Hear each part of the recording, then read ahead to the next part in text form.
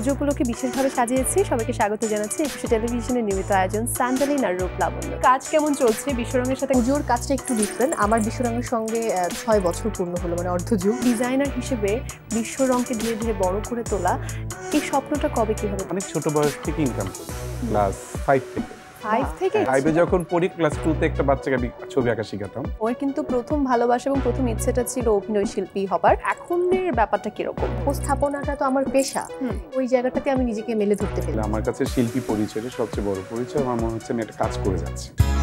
স্যান্ডেলিনা রূপ লাবণ্য প্রযোজনা মুন্তাসির বিপন। দেখবেন প্রতি বৃহস্পতিবার রাত আটটায়।